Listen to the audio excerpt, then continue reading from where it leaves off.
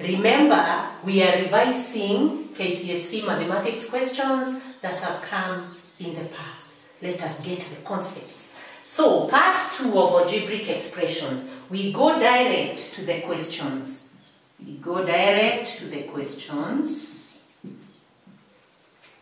Number one. The first question is, simplify the expression this. 16m squared 16m squared minus 9 squared divided by this. It was carrying 3 marks in year 2013. So, solution. Come and write down your numerator. Symbolize it with letter N.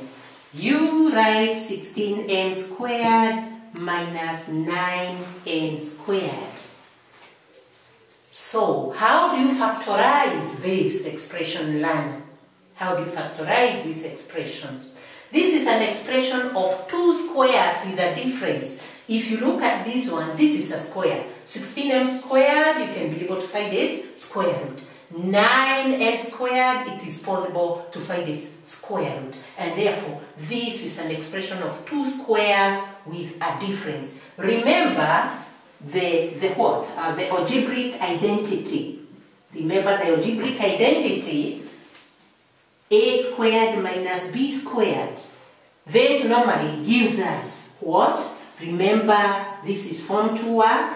This normally gives us what? Square root of these. You see, these are two squares with a difference. It's like you say square root of a squared gives you a. Square root of b squared gives you b. In the first bracket, add. In the second, you subtract. So this is the concept that you're going to apply here. So this one now gives you what? Square root of 16 squared is what? It is 4m. Square root of 16 squared is 4m. You come and write it here. Square root of 9n squared is what? 3n. Square root of 9n squared is 3n come and write it here, 3n. So in the first bracket you add, in the second you write the same terms, but you subtract. Good.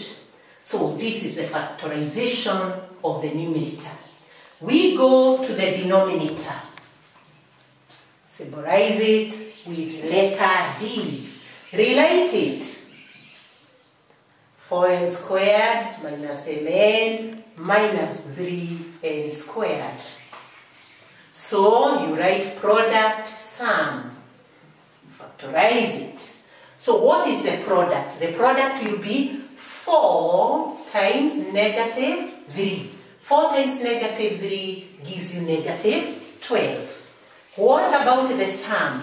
The sum, you go to the middle term there and you pick the coefficient. What is the coefficient here? It is minus 1.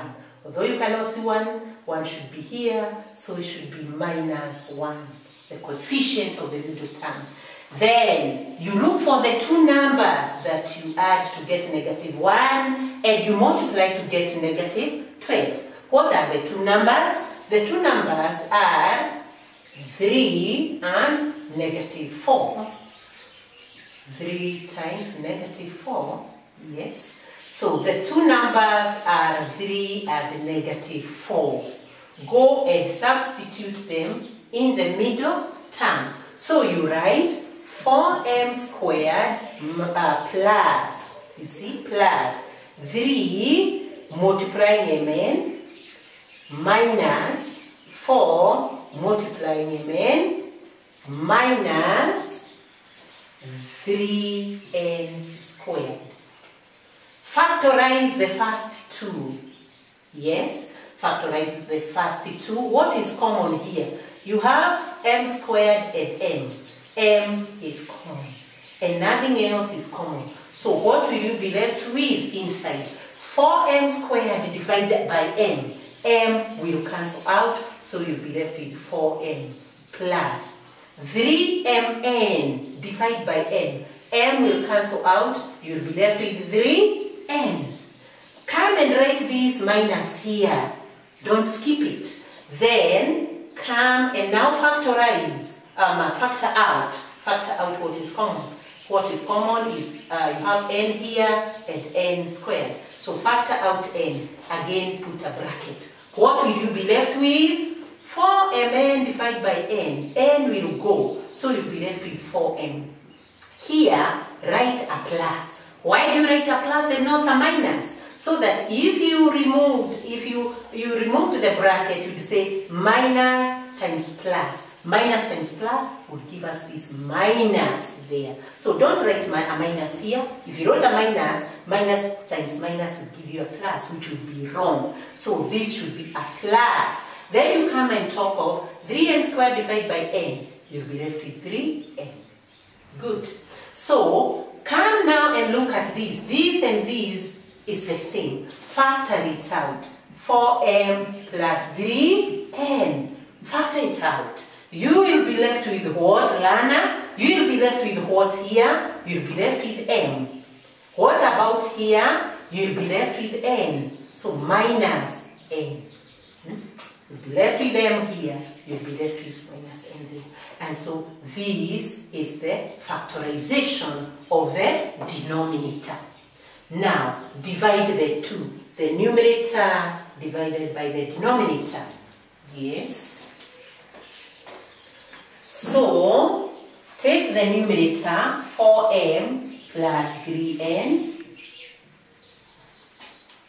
4m minus 3n.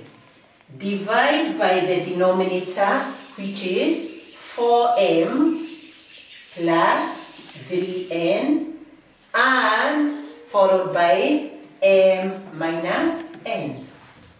Check for what is common that can cancel out. This bracket cancels out with that and therefore you finally end with 4m minus 3n divided by n minus n. Yes, I hope you have understood all that, Lana. Number two, Lana, expand and simplify this expression. x plus 2 in brackets squared minus 2y minus 3 in brackets squared. It was carrying two marks in year 2014. So how do you go about this? It's a matter of expanding this separately, then you expand this other one separately, and finally you subtract. So learn, before we go to expansion of this, let us remind ourselves about some two quadratic identities that can help you to work out these. So, uh, they are called quadratic identities. Remember the quadratic identities? Although you can still do it by removing the brackets. Remove this bracket and then you subtract. But this is a better way. So number one, you have a plus b squared and you have expanded it in form 2. Hmm? You expanded this by removing the brackets and you got what? a squared plus 2ab plus b squared. That is what you got by removing the brackets. So you have a squared. It was, it's, it's like it was got by squaring a. a squared. Huh? You got that. Then you have a middle term here. It is like it is got by 2 times a times b. 2ab. You come and put the middle term. The third term, it's like it was got by b squared b squared. You come and write it there. And this sign here is positive, if this is positive. Number two, remember you are also you also expanded this. a minus b squared. a minus b squared is very similar to this one, only that in the second term you have a. And therefore, this normally gives us a squared minus 2ab plus b squared. So it's like the same thing, only that this is negative when this is negative. And therefore, Lana, let us apply these two here. Because here you have a plus and it is squared. Here you have this bracket here where there is a minus and it is squared. We go to the first one. So, you talk of x plus, you, you take the first one, x plus 2y squared, you expand. What would you get using this? first one. So you come and square this, you get x squared. Then you say plus, just like here.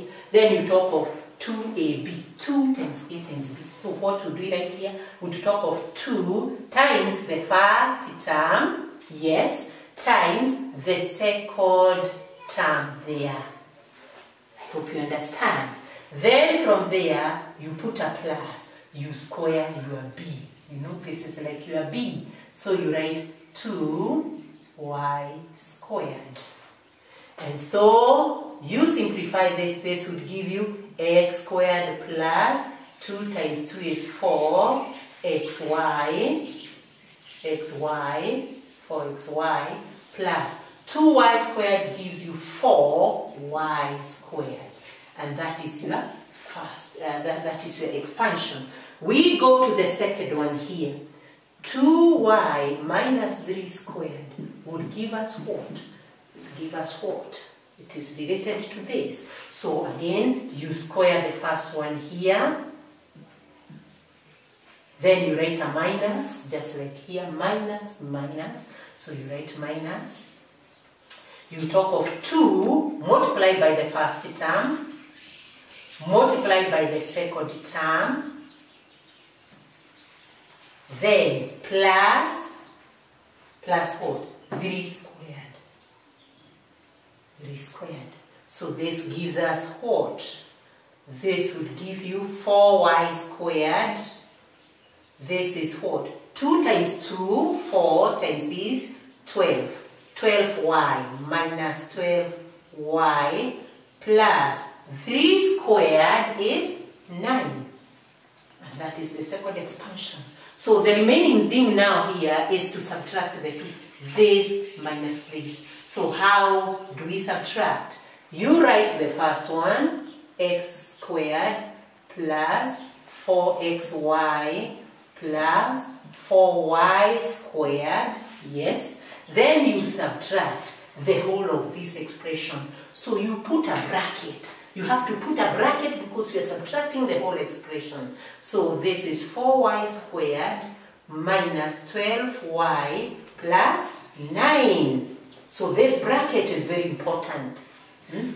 From there, remove the bracket. This would be x squared plus 4xy plus 4y squared minus 4y squared.